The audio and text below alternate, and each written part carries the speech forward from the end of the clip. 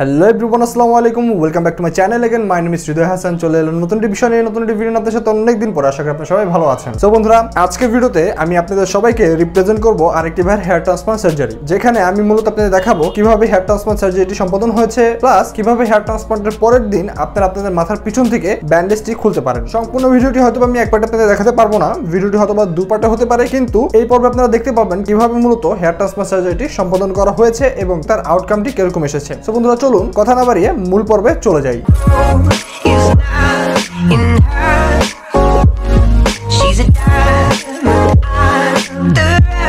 So বন্ধুরা, আপনাদের কিছু বিষয় ইনফর্ম করে দিতে চাই। এই ভিডিওটি আজকে থেকে প্রায় দেড় থেকে দুই মাস আগে করা হয়েছিল। আমি মূলত পারিবারিক ব্যস্ততার কারণে আপনাদের জন্য এই ভিডিওটি এডিট করে দিতে পারিনি। তাছাড়া, করোনাকালীন সময় এবং লকডাউনের মধ্যেও ডক্টর কামাল স্যার চেম্বারে হেয়ার ট্রান্সপ্লান্ট সম্পাদিত হয়েছে আপনাদের মধ্যখান থেকে যারা যারা সময় করে সেফলি চেম্বারে রিচ করতে পারবেন কিংবা এই সময়ের মধ্যে আপনারা যারা ট্রান্সফার করতে চান, অতি সত্তর আপনারা যোগাযোগ করতে পারেন। আপনারা আপনাদের ট্রান্সফারটি করে ফেলতে পারেন। সো বন্ধুরা, চলুন, কথা না বেরিয়ে মূল পর্বে চলে যাই। আসসালামু আলাইকুম। আমার নাম মাহিন। আমি সিলেট থেকে আসছি। হেয়ার ট্রান্সপ্লান্ট করানোর জন্য। মূলত হৃদয় ভাইয়ের ইউটিউব চ্যানেল থেকে দেখে ট্রান্সফার করানোর জন্য চিন্তা ভাবনা করছি এবং ফাইনালি হৃদয় ভাইয়ের সাথে আলাপ করে চলে আসছি এখানে ট্রান্সফার করানোর জন্য। তো ট্রান্সফার করানোর আগে আমি ইউটিউবে অনেক ঘাটাঘাটি করছিলাম যে কোন সেন্টারে ট্রান্সফার করাবো। তো সব ঘাটাঘাটির পরে আমার কাছে মনে হয়েছে যে ডক্টর বক্তিয়ার কামার স্যারের ট্রান্সফার সেন্টারটাই বেস্ট আশা করি আপনারা আমার ভিডিও দেখে উপকৃত হবেন এবং আপনারাও আগামীতে যাদের প্রবলেম ট্রান্সফার করাবেন ইনশাল্লাহ আর আমার পুরো ব্লগটা আপনারা দেখবেন এবং হৃদয় ভাইকে অসংখ্য ধন্যবাদ। উনি আমাকে অনেক সুন্দরভাবে বুঝিয়েছেন এবং প্রতিটা স্টেপে আমি হৃদয় ভাইয়ের কাছে জানতে পেরেছি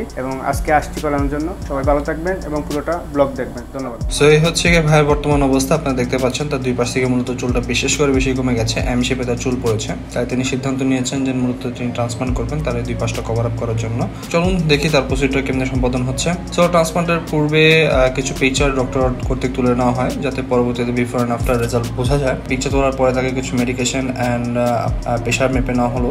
তারপর তার চুলগুলো ফেলে, এখন তাকে মাথার পিছন থেকে আর কি লোকাল অ্যানেস্থেশিয়া দেওয়া হবে, তার জন্য তার মাথাটা ভালো করে পরিষ্কার করা হচ্ছে। তো মাথা পরিষ্কারের পরে তাকে দুজন নার্স লোকাল অ্যানেস্থেশিয়া দিয়ে দিচ্ছে, যাতে তার ডোনার এরিয়াতে সে কোনো ব্যথা অনুভব না করে। সো তারপর পরেই নার্স এবং ডক্টর মাসুমা ম্যাডাম তাদের সমন্বয়ে তার চুলটা এক্সট্রাকশন করা শুরু হয়ে গেল। আপনারা দেখতে পাচ্ছেন এখন তাকে মোটর দিয়ে চুল ওঠানো হচ্ছে। এবং চুল ওঠানোর পরে তারপর ফলিকুলগুলোকে শোন দিয়ে উঠিয়ে উঠিয়ে একটা পাত্রে রাখা হচ্ছে। সেখান থেকে আরেকজন নার্স মূলত তার ফলিকুলগুলোকে সেভ করে, সুন্দর করে বাছাই করে নিচ্ছে। তারপর তার মাথার পেছনে ব্যান্ডেজটা করে দিয়েছে। এটাই ছিল মূলত তার এক্সট্রাকশন পর্ব। এখন মূলত ডক্টর মাসুদ স্যার যিনি মূলত হেয়ারলাইন ড্র করে দিচ্ছে ভাইটিকে তার রিকোয়ারমেন্ট অনুযায়ী তার সাথে ডিসকাস করেই মূলত তার হেয়ার হেয়ারলাইনটা ড্র করা হচ্ছে। তাছাড়া এই সম্পূর্ণ বিষয়গুলো আরও ডিটেইলি এর আগে আমি কিছু ভিডিও করেছি। আপনারা চাইলে সেই ভিডিওগুলো দেখে নিতে পারেন। কীভাবে মূলত আরও স্পেসিফাইভাবে আপনার এই কাজগুলো সম্পাদন করা হয়। সো আপনারা দেখতে পাচ্ছেন এই ভাইয়ের ওভারঅল টু থাউজেন্ড গ্রাফগুলো কীভাবে ইমপ্লান্ট করা হবে পয়েন্ট টু পয়েন্ট লিখে দেওয়া হয়েছে। সো এখন একজন নার্স তার ইমপ্লান্টেশনের কাজটা শুরু করে দিয়েছে। যেরকম যেটা বলা হয়েছে, সেই অনুযায়ী যেই নাম্বার দেওয়া আছে, সেই অনুযায়ী তাকে সেকশন ওয়াইজ গ্রাফট ইমপ্লান্ট করা হবে। সো এরকম করে কিছুক্ষণ তার গ্রাফ ইমপ্লান্ট চলবে, যে পর্যন্ত না তার সম্পূর্ণ মাথাটা কভার আপ হচ্ছে।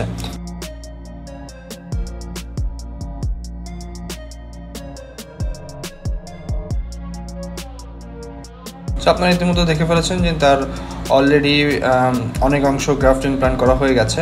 সো ইনি অনেক ব্যথা পাচ্ছিল, যে কারণে পরবর্তীতে উনি আর সহ্য করতে পারতেছিল না। কিন্তু তার পরক্ষণেই ডক্টর কামাল স্যার তাকে দেখতে আসেন এবং তখন স্যার তার সাথে ডিসকাস করে তার ব্যথা যাতে কমে আসে, তার জন্য যা যা করণীয় স্যার এসে নিজ হাতে করে দিয়ে গেলেন। এটাই হচ্ছে কি ট্রান্সপ্লান্টের ওভারঅল জার্নির প্রসিডিউটের নিয়ম। এই ক্লিনিকে ওভারঅল তিনজন ডক্টর সর্বক্ষণে তত্ত্বাবধানে থাকেন। পেশেন্ট কোনো সমস্যা ফেস করলে কিংবা তাদের ওভারঅল যে বিষয়গুলো কীরকম চলছে সেগুলো তত্ত্বাবধান করার জন্য প্রায়শই ডক্টররা রাউন্ড দিয়ে থাকে। সো ভাইকেও এরকমইভাবে স্যার এসেন আপনার লোকালগুলো আরও ভালো করে পুশ করে দিয়ে গেল এবং তার সাথে কতক্ষণ ডিসকাস করে অন্যান্য পেশেন্টদের দেখে গেল। সো এভাবে করতে করতেই তারপর তার ব্যথাটা অনেকটা কমে এসেছে, তারপর তার ট্রান্সপ্লান্টের জার্নিটা অনেকটাই কমপ্লিট হয়ে গেল। সো আপনারা দেখতে পাচ্ছেন তার দুই পাশে চিপে এবং ফ্রন্ট সাইডে সুন্দর করে গ্রাফগুলো ইমপ্লান্ট করে দেওয়া হয়ে গেছে। সো এটাই মূলত তার ট্রান্সপ্লান্টের জার্নিটা ছিল।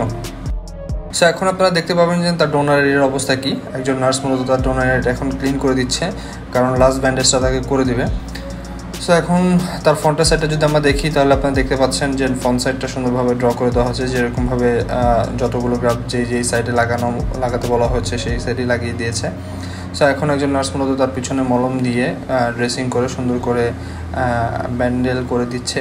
সো এই হচ্ছে গিয়ে তার মূলত ট্রান্সপ্লান্ট জার্নিটা ছিল। আমি ভবিষ্যতে তার আপডেটগুলো আপনাদের জানাব। সো চলুন তার মুখ থেকে কিছু কথা আমরা শুনে নিই। তার জার্নিটা সম্পর্কে সে কী বলছে? মাত্র ট্রান্সপ্লান্ট শেষ করে বসলাম দুপুর একটা থেকে শুরু হয়েছিল, দেড়টার দিকে। প্রায় সাতটা এখন মাত্র শেষ হইল আর কি। অল্প একটু ব্যথা করবে। আমি একটা ব্যক্তিগত, কারও করে কারও করে না। আমি ব্যক্তিগত, আমি অনুভব করেছি একটু একটু ব্যথা। আমার পাশে আরও দুইজন করে গেছে। ওনারা কিছু শব্দই করে নাই, কিন্তু আমি পাশ থেকে করছি, আমার একটু লাগ- লাগছে। এটা যার- যার যেরকম আর কি সেটা। তো এখন রেজাল্টের পালা, কি রেজাল্ট আসে? আশা কর- করছি আমি যে আমি ভালো একটা রেজাল্ট পাবো চুলের। যে আমার কি রেজাল্ট হয়, ভালো কিংবা খারাপ সেটা আমি, আমার, আমি হৃদয় ভাইয়ের চ্যানেল থেকে আপনারা দেখতে পাবেন আমি আমার মাধ্যমে ওনাকে পাঠাবো আর উনি ওনার মাধ্যমে আপনারা সবাই দেখবেন আমার কি হয় রেজাল্ট। আর এইটাই, আপনারা দিয়ে করবেন সবাই যারা অনেকেই আছেন যারা চুলের সমস্যা, যারা ডাক্তারের কাছে দৌড়াদৌড়ি করতেছেন, যা চুল পড়ে গেছে, অনেকে বলে কবিরাজ, এই সেই নানান তানান বলে যে চুল পড়ে গেলে চুল উঠে। এগুলো জীবনে হয় না আসলে।